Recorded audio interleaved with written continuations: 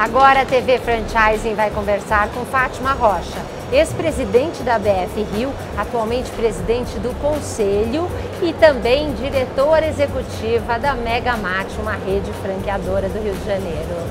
Fátima, que bom ter você aqui conosco. Sempre bom estar aqui com vocês também. Para começar, queria ouvir a sua percepção da feira desse ano. Como no ano passado, né, acho que estive aqui com você também, naquela época como presidente da BF Rio, e a percepção é sempre essa, né? essa magnitude desse evento, pessoas realmente interessadas em fazer negócio, é uma corrente de relacionamento muito grande. Então eu acho que é sempre muito importante estar aqui. Agora, queria que você me falasse um pouco dessa mudança, né? Você estava me explicando que faz parte na BF Rio, uh, quando sai da presidência, vai para o conselho. Como é que funciona? Qual que é o papel do presidente do conselho? Todos os presidentes né, da associação, eles se tornam conselheiros. E o presidente imediatamente anterior, ele se torna presidente desse conselho. Então eu, neste momento, estou presidente do conselho. E, e o que, qual é a função, né, as atribuições do, do presidente do conselho? É ajudar e apoiar, através da sua experiência enquanto presidente, o atual presidente da associação. Então a gente acaba é, é uma continuidade, uma forma de dar continuidade, a gente acaba ajudando é, nos projetos que ficaram encaminhados, a gente acaba, enfim, é, colaborando com tudo que a gente pode e o que a gente traz de bagagem. Agora você estava me contando algumas novidades e lançamento da Megabate. Uhum. Sucesso muito grande num projeto de micro franquias. Me conta um pouco mais sobre isso. A gente tem aí no nosso país, na verdade, uma, uma grande quantidade de pessoas é, que tem pouco dinheiro, mas uma capacidade empreendedora muito forte. Então é, a gente resolveu lançar um produto que possa atender essas pessoas e atender também alguns gargalos que nós franqueadores encontramos. O primeiro deles é o ponto comercial, o segundo deles é a mão de obra. Então esse produto que é uma micro franquia, você consegue operar ele com duas pessoas e o ponto, como é que funciona? Como ele é móvel, você pode transportá-lo para qualquer é, local com facilidade, sem nenhum tipo de custo, somente o frete, você acaba tendo, com essa mobilidade, a oportunidade de explorar pontos sem estar preso a um contrato de locação longo e nem caro. E melhor ainda, testar mercados. Fico seis meses, é bom, eu continuo. Não foi tão bom assim, eu mudo de lugar sem um prejuízo maior.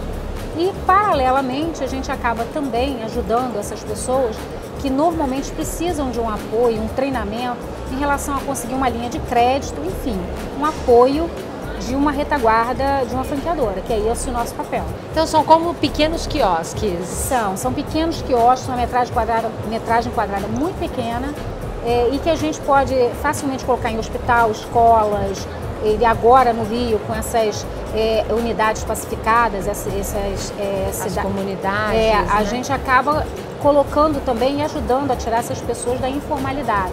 Muitas pessoas super interessadas em ter um negócio, já têm né, toda a capacidade empreendedora, porque vem trabalhando nisso, mas falta o quê? Falta informação, apoio, estímulo e principalmente para o lado das instituições financeiras, uma retaguarda de alguém que quer fazer dar certo também.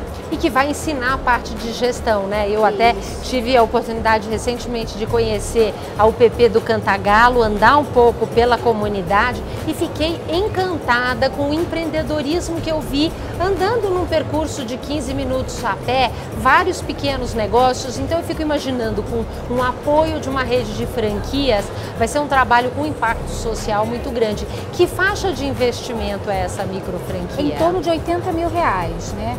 E, e o que você também é, percebe nessas pessoas é o grau de criatividade. Eu estive também recentemente em uma delas e eu fiquei impressionada como eles têm de fato criatividade, essa, essa força empreendedora. E isso está tão preso, tão, né, tá faltando limitado, né? É, tá faltando isso, alguém ir lá e acreditar, apoiar, treinar e fazer essa, esse link uma instituição financeira, consegue-se o crédito e aí você faz negócio e é o famoso ganha-ganha do franchise, né? Muito bom. E como é que você sentiu esse primeiro dia de feira? Visitação, porque vocês estão com o stand aqui. Estamos. E em relação ao que foi o ano passado, as pessoas, qual que é o perfil dos visitantes do stand? Cada ano que passa eu percebo um perfil mais capacitado. As pessoas que visitam a feira elas sabem o que vem buscar e elas vêm com um dever de casa pronto. Né? O que eu senti esse ano, diferente do ano passado, foi que Dia dos Namorados não é um bom dia. É, Você percebe que o movimento ano passado nesse dia foi melhor. Mas para o ano que vem, eu já vi que não vai cair nesse dia. Isso é bom. Eu acho que esse teste não foi muito bom. E eu acho que nos próximos três dias de feira, as pessoas que não foram hoje, eu acho que vai aumentar eu esse tenho número. várias pessoas dias. que já marcaram comigo, falaram, não, só não pode ser no dia 12. É. Ainda mais com chuva, né? É. Fátima, parabéns pelo trabalho. Muito obrigada por estar aqui conosco. Obrigada a você, Paula.